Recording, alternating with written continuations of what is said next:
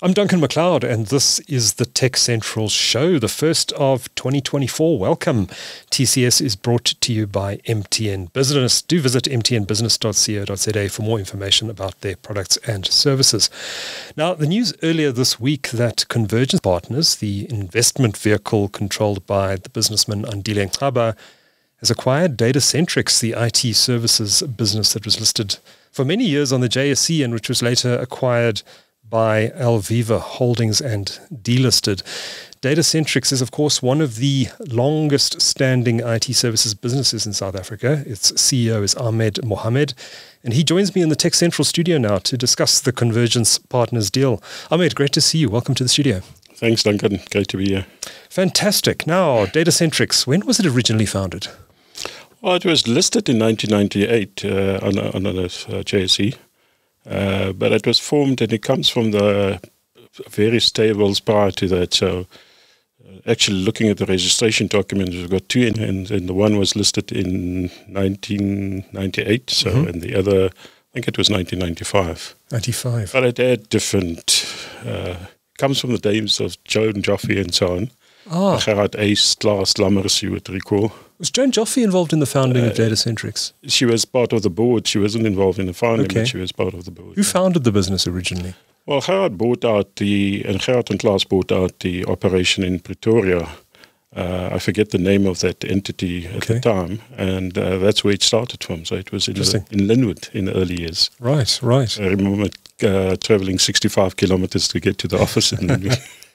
And uh, listed in 98. Of course, there was a tech listings boom in 1998. We, uh, South Africa kind of uh, predated or, or um, ushered in the dot com bubble in a way because we had our own mini listings boom in the tech space in 98. And then the US, of course, had its tech bubble two years later. Yeah. Uh, many of the businesses that were listed in, in that 1998 tech boom, of course, have long gone. Uh, so Datacentrix is, uh, is, is, is, a, is one of the few survivors of, of that time. What has been the key to its longevity? I think we've always run the business for the long term. So uh, even when we're listed, despite all the pressures of listing, yeah. we've sort of had the view is, uh, you know, have uh, strategies that will stand you as good state over the long term. Mm-hmm. Uh, I mean, there's a, a, lot of different things you can point to, to to the success of the organization over the years. So and you're right. I mean, uh, I jokingly said I think I must be the longest uh, serving CEO of a tech company. How long have you been so, CEO? Uh, I think it's 22 years this uh, next year. Yeah. Okay. Oh, it's actually now in January. It's 22 years. Yeah. That's uh, so it's a long time. It's but, a good innings. as I said earlier on, I think it's if it was any other industry, I most probably wouldn't have been here. But yeah uh, the development in technology keeps you on your feet. You've got to yeah. think uh, differently. You've got to be agile and so on. And I think we've built that DNA into the business.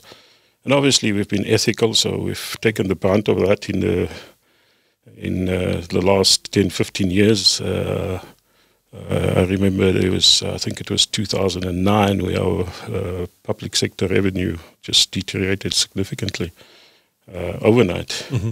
But we navigated that quite well, and it's uh, stood the test of time. I'm glad to say. It's, uh, I think there's some luck involved in it, Duncan, yeah. to be sure, but uh, our strategies were right as well. Yeah, well, of course, too many IT companies were caught up in the state capture era. Yeah, um, and uh, Datacentrix uh, was was name was never came up once in related to public sector contracts. So that's. Uh, yeah, it's always challenging. I mean, as a as an entity, we've never engaged in that. We've walked away from significant deals. Uh, but you know, given the climate at the time, you always are in the danger of some rogue individual in your mm. organization doing things that they shouldn't be doing. So we've been very, very disciplined about ensuring we convey the message on a regular basis, and uh, thank God it's uh, stood us in good stead. Good to hear. Good to hear. So, uh, t- tell me a bit about how the Datacentrix business has changed in the time you've been there. I mean, you, you alluded to the fact that uh, technology is always forever moving forward. Um, but um, compared to when you started as CEO 22 years ago, how has the business shifted? And, and maybe take us through a little bit uh, who your customer base is. I think it's a significant shift. Uh, in the early days when I started, there was largely government. Uh, the, the, most of the transactions were in the government space, and it was really commodity driven. You know, in the early 90s, uh, you, know, you could sell anything in tech. So you get a faster process as the guys would buy the new notebook or desktop or whatever the case may be. So we, we sold a lot of commodities in, in the public sector at this stage. We had a few commercial clients, but nothing to talk about. And it was largely based on commodity sales. So mm-hmm. uh, I was saying jokingly to some of my colleagues the other day, I remember the time where we sold uh, 12,000 printers in December to a government department. You know, that's the type of deals we're, right. we're engaged in. Today it's very different, and, and, and we've used an evolutionary process. I think we've tried to build uh, the DNA of the organization around what is uh, good for the customer. So, mm. you know, uh, tech today is, is very important in business. But applied correctly, it's important. I mean, applied incorrectly, you start having other challenges. And, and I think the the cloud bubble sort of demonstrated that. You know, the cloud first strategy, and you mm. would have been in that, where organizations have, have taken that approach.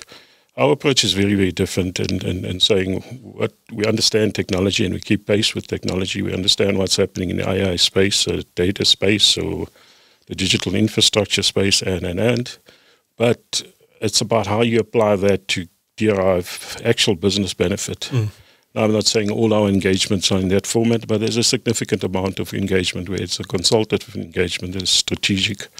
Uh, we've invested significantly in uh, technical capability, solutions architects, you know, the top skills in the market, and, and we have uh, we have some of the best skills in, in the business. So our people are, are very cool to us, and, and we've nurtured that over the last 22 years. Mm-hmm. Uh, a lot of my senior t- uh, leadership team have been, uh, and other members have been with us for 15, 20 years as well. So okay. Okay, so the client base today, do you? I mean, it sounds like you've you've transitioned from more of a, a product box dropping business originally into much more of a services consulting business today. Is that a, a fair description? Absolutely, absolutely. And our strategy from the outset wasn't to drive a, a acquisitive strategy. I think uh, at the time in, in the early 2000s and mid 2000s, massive acquisitions in this space. And typically, what happens is you find a clash of cultures in those businesses. You can't integrate them correctly, and mm-hmm. you get also stuff that you don't want as part of the acquisition. Yeah. So we've been very uh, specific about the way we built the business. Uh, uh, strategic acquisitions bolt on to the business, integrated into the business, uh, and ensure that it runs as a seamless engine. So. I think uh, that's that's worked well for us. We we don't have uh, competing entities in the business like you've seen with some of our competitors out in the market. Uh, when we uh, do a tender or so on, there's mm-hmm. one approach from Data Datacentrix and not 5 mm-hmm. Uh, and we've honed that in uh, that strategy uh, in, in, the last couple of years. And you know, when you engage and a customer engages with a with a Datacentrix engine, it's a holistic approach in, in understanding your business and then applying the technologies to give you some business value, business benefit, whatever outcomes you're trying to reach. Mm-hmm. And in many cases, tech drives business strategy actually. Mm-hmm. So in, in some cases, we in organizations doing that. Uh, have strategic sessions with them on an annual basis, uh, understand where the business is going. We understand where the technology landscape is going because we deal direct with a number of vendors, so we keep pace with uh, who technological are your, developments. Who, who, are your most important uh, partners in, in, the in the vendor market? So we're uniquely positioned. We've got direct relationship with uh, quite a number of the vendors. So the big ones is obviously HPE from a, a technology stack infrastructure point of view. We have uh, Dell and uh, EMC stack, uh, the Lenovo stack. Uh, and that's also been a diversification because historically we only had one vendor. Today we have all the major OEMs and we're highly accredited, so in the top tier mm-hmm. echelons of those. And we have an engine that imports directly and right. configures, uh, you know, ships uh, throughout both SA and, and Africa, where, where we follow our customers. Mm-hmm. Uh, so if you look at the, the history of the organization, we've gone from a box drop to building out a business that is actually uh, rich in skills, rich in capability, uh, with a view of saying to a customer, you know, what are your challenges and how do we apply technologies to navigate those challenges? Uh, and I'm not saying every engagement is like that. Some are sure. tactical. They come in and say, okay, they, they need um, you know, they need a network solution. In, but even in that, there's complexity. As, yeah. as, much as technology is becoming easier, it's also becoming more complex in the way you design and deploy. Which are the most important industries that you service? Um, what are the biggest ones? Yeah, I think I think the positioning of, of entities as far as segments are concerned, uh, we play across the segment. So mm-hmm. if you look at the digital infrastructure space, whether it's cloud or any of the other technologies, they're fairly generic. Yes, you know, in, in application, even AI technologies. So you know, it might apply to a different data set, but the way it works and functions is fairly generic. So mm-hmm. we operate uh, in the financial sector, in the mining sector, in the agricultural sector, education. Across the board. Uh, across the board. And uh, we have started honing in, particularly when it comes to digital solutions uh, into sectors. So, mm-hmm. you know, the agricultural applications uh, are different, though the underlying technologies and infrastructure is the same, but the, the applications that you run on AI and the way you assimilate information and uh, produce that for for those environments are different from the mining. They're mm-hmm. different from. So we have uh, what we term as indabas, which is uh, annually, you know, whether it's education or mining mm. or you know a, a, number of these sectors that we we engage uh, particular sectors in. And you, you said the public sector's business has picked up again. Are starting to pick up. It's uh, you know we, we think it should be around thirty odd percent of the business. I think that's about the spend of the public sector in terms of total IT spend. Okay. Uh, so it started, uh, and we've done some significant deals in that uh, space. You know, and it's the more complex deals in that environment that we've been able to deploy. Yeah, yeah. And uh, are you seeing less of that state capture nonsense now in 2023, 2024, or is it still going on? I, I, think it's a levels of how deep that is. I think globally it's a challenge, to be honest. Uh, okay. And I think. Uh, you know, it's it just depends which entity you engage and where you are. Uh, we don't get sidetracked with those type of issues, and mm-hmm. because we're known as an industry that we don't uh, engage in those type of activities, we will never get approached. So, okay. to what extent that is uh, is still endemic, I don't know. I think it's improved. Yeah. Um, you know, and, but there's still work to be done, I would think. Sure, sure. So, Datacentrix was listed in '98. It was delisted in 2016? I think it was 2016. Okay, yeah. and that was with the acquisition by Alviva Holdings, which of course is the parent, which was also listed at the time, yes. the parent of um, Pinnacle and Axiz, two big distributors in South Africa. Correct. How did that acquisition come about, and what was the what was the thinking behind it? Yeah, it's a quite a complex uh, situation, but uh, when we did a transaction for PE purposes in '98, I guess, and there was a top-up tranche uh, later in later years, uh, as as you would know, these the way these uh, PE transactions are structured, uh, sometimes it doesn't pan out that the PE companies sit with all of that, so it goes okay. to either the funders that uh, and so on. So. Uh, it ended up that uh, a private institution held uh, a listed company in their portfolio, and mm-hmm. obviously uh, they were sitting with a big chunk of that, about 30 odd percent. And um, someone got a wise idea to uh, to flock this stake around, and that's how it ended up in Pinnacle. Okay. Uh, and uh, you know, I, I, actually was part of Pinnacle many years ago oh, before oh, really? I started with. Uh, okay. So I ran uh, Pinnacle in, in the early 2000s. I was the MD there for many years. You know. Ah. Okay. So there was, uh, yeah, that's how it rolled out into the. So you knew the, the guys. Group, yeah. Okay.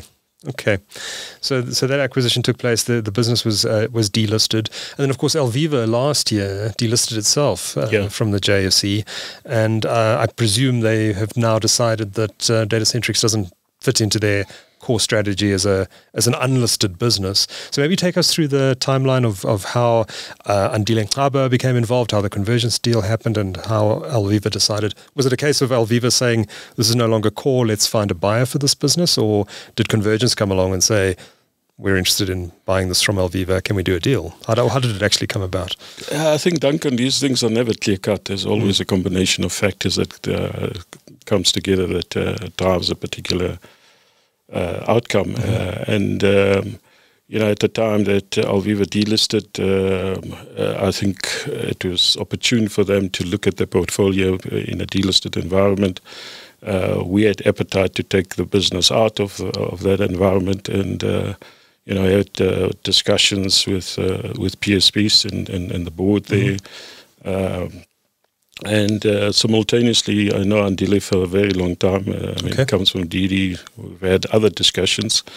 Uh, and in fact, it started off with uh, another conversation we had in partnering in, in a particular area, and, and we got to talk about it as Centrix, and, and that's how it unfolded. And, mm-hmm. and, in fact, that was almost a year ago that that process started. So I started okay. chatting to him. We had appetite because we've been there for 22 years in, in this thing, and uh, what we didn't want, uh, to be frank, is sit in, in, another entity where we didn't have control of our own destiny, and, and, and the stars were aligned for this mm-hmm. transaction to happen. So we're ecstatic uh, and, and, excited in mm-hmm. terms of what they bring to us. Uh, the knowledge that Andile has is, is significant in the industries, uh, you know, and uh, mm. we think we can leverage some of uh, their capability in, into our business and, and vice versa. So I think uh, the cultures are aligned, the ethos is aligned, the value system. And, and, you know, when it comes to acquisitions, in my opinion, is normally it doesn't not work because of the financials. It works. It doesn't work because of the culture fit of entities. Mm-hmm. Uh, but we've got very strong alignment. I've worked with them for over a year in terms of uh, this uh, uh transaction, or less than a year, sorry, it's not over. Uh, and, and, and we're very, very comfortable with the entities. We, we really work well with them to date. Yeah. So, is this a private equity type of arrangement? Yes, it is. Yeah, it's a private equity yeah. deal. Okay. Oh, that's that's the uh, CP uh, Convergence Partners is typically Model. Uh, yeah. Though they have a slightly different flavour, I, I sense, and Andile is better to speak in it in CP, mm-hmm. but I think they they focus on the technology space, which brings value to us. Yeah. You know. They're also uh, longer term investors, aren't they? On traditional private equity, was, invest for five years and then get out. That's exactly what I was getting to. Is mm-hmm. that yeah? Uh, I think they take a different view to normal private equities, and have a longer uh, horizon in terms of entities out there. Yeah, so they're not going to flip Datacentrix again in a few years from now. This is a, a longer term investment for them. Yeah, I mean, you know, any business at the end of the day, I think uh, we may have a certain view, but uh, sure. confluence of uh, things change, situations yeah. and circumstances might learn, but that's it's not bought as a flip now. Mm. Mm, okay, okay. What is the state of the IT market at the moment? How how are things out there? I mean, is it is it tough, or are things picking up? I know there was a bit of a downturn. Uh, there was a bit of a boom around COVID as people started to work from home, and there was demand on on uh, on solutions around that. Uh, and then there was a bit of a slump, particularly in the hardware space. Yeah. Um, are, are we coming out of that now? Is the market starting to show signs of life? Uh, you know, the, the predictions out there is uh, sort of around, depending which analyst you talk mm. to, is around 6 7% sort of growth uh, okay. and developing on, on, the segment. So it is growing at a higher rate than GDP in the, in the market, so there's, there's, uh, there's room for growth there. Uh, given where we position as a business, I think there's room for us to grow and take market share away. So it's, mm. it's uh, one is that 7% increase in spend, but the other is also how can we expand into adjacent areas that yeah. will grow our business and, and, give us a bigger market share. Mm-hmm. Uh, and I, I, again, I think the convergence uh, uh, you know, partnership now will yeah. will will bear us uh, will, will bring some benefit for us in that yeah. space. Okay, and uh, you, I noticed noted in the uh, press release announcing the deal that um, uh, one of the things you expected to be able to do is to um, expand your focus on the rest of Africa. Um, how, how will it how will it do that? And will you be working with other Convergence Partners, investment companies, uh, to to expand your presence on the continent? Yeah, I think I think they've got it right to some extent in Africa. It's a it's a difficult environment to operate in. So we do have an Africa presence. I mean, we service uh, a lot of our customers that have a footprint in Africa, and by the way, we have a Middle East presence as well. Okay. So we've done some work there. Uh, but what we don't chase is business in those particular countries, and uh, and and we want to explore how can we unlock that uh, together with convergence partners. Um, you know, and, and there may be entities that we can, that synergistics that we can add value to them, and they can add value to us. But operationally, obviously, the businesses will remain separate. It's about sure. uh, the leadership and the maturity of how do you bring this together for the benefit of the greater group. Sure. How, how hands on is Convergence Partners as an investment firm? I mean, will Andile work closely with you in developing strategy and that sort of thing, and, and, his, and his leadership team at Convergence, or do they take quite a hands off approach? That's an interesting question. I guess it will unfold as it unfolds. As time goes on, yes. Uh, but uh, I mean, our discussion, uh, Andile and I, is uh, uh, they want to keep it separate. They, they, they like the management team. They like the, the business. They like the ethos of the business. Uh, they're very comfortable with the, the entity and the way it's positioned in the mm-hmm. market. Mm-hmm. Uh, so to the extent that uh, I think where value can be derived through those conversations, we'll explore those. So mm-hmm. I don't think they'll get operationally involved in mm-hmm. the business. That's certainly not. And in fact, he's, he's, he's, I invited him to the staff meeting in uh, when we announced the mm-hmm. transaction, and uh, that's a sort of message he gave to it. He's got full confidence in the business, and it's not they're not buying a business that they need to fix. They're buying a business in terms of being able to leverage some of their capabilities and driving additional value through that uh, okay. transaction. So, you know, Andile has got uh, significant knowledge. He spends a lot of time in the US and Silicon Valley. Mm. So, you know, if there's AI sort of technologies, develop partnerships that we can develop, we'll ex- explore that mm. as well. But we see in the immediate future some leverage in, in Africa and understanding how they do that and, and how can we piggyback on that. Do you think it'll also open up new clients potentially for the business? Our time will tell. That's mm. not the reason we've done the transaction. I think we've never looked at our shareholders to unlock that value. Mm-hmm. But I guess uh, the gravitas of uh, Convergence Partners and Andile as an individual within that entity will yes. lend uh, some credi- uh, better credibility to the organization as well. Mm-hmm. I, I, would I would think. Yeah. Okay. Okay. Now, I don't know if you're in any hurry to uh, to list this business again, or if that was a discussion at all that happened in the in, in the tr- in terms of the transaction with Convergence Partners. But Datacentrix was listed on the JSE for many, many, many years. Possibility it might return to the bourse at some stage. I think circumstances will dictate. I think the question was asked on Andile as well, and and, and that's it's not a strategy to, uh, uh, and, and, not the reason I think Convergence Partners mm. brought it to list it again. Uh, but what happens in four or five years' time will dictate in terms of whether it makes sense against to list or not to list, or you know continue the business and just build it bigger and bigger into the rest of Africa and globe. I suppose it so, really depends on market conditions yeah, as well. circumstances market... will do. So there's no, we haven't gone into the transaction to say we're going to list it in three sure. years' time. No. Uh, and I think that's the messaging coming from Andile, and it's really more a question they should be answering sure. because they're all 100% of it. But yeah. yeah. Okay, okay. And how, how big is the Datacentrix business today? I don't know how, how, how much you can disclose about revenue and, and that sort of thing, but, but maybe some top line numbers and staff size as well? Yeah, we're about 1,300 uh, people, uh, largely highly technical skills uh, individuals, whether that's in networking, the digital space, so uh, core data center, cloud, and so on. So about 1,300. Uh, um, um, we, uh, from a revenue, I can't uh, obviously divulge those numbers, but it does put us in the top five sort of players mm. in the market and, and, and, edging away quite aggressively. So okay. our our strategy is really to target for that number one spot. Uh, though I don't drive the business, for me it's about profitable growth rather than just revenue growth. So, sure. Uh, but yeah but continuing to eat away market share. Yeah, we're a strong years. contender in that space. And we don't play in every single area, so we don't do core ERP systems and so on. But in the market, uh, the digital infrastructure space, the digital uh, solutions areas, uh, we have a significant market share in those particular areas that we play in. So if you look at the vendor landscape, uh, if it's anything to go by, we're always, we've been for the last, was probably 15, 18 years. Mm top vendor for HPE. We in the okay. top three for most of the other vendors as well. Yeah. And then we have uh, partners like OpenText that plays in the data side of the business, which is becoming bigger and bigger for us. Uh, and actually, is an important facet for most businesses is about the data and. Mm-hmm. Uh, uh, infrastructure is uh, it's like the car and the engine you want to run it, but how mm. efficiently can you extract the power and the information out of that data is, is what we're focusing on. So you'll see our messaging has been around data and you know whether that's in the edge or putting it in the cloud. Uh, you know, uh, is, is is the debates we're having with our customers because mm-hmm. sometimes you need that information in the edge. Uh, to facilitate quicker turnaround times, decision making processes, mm-hmm. and so on, particularly in retail environments and so on.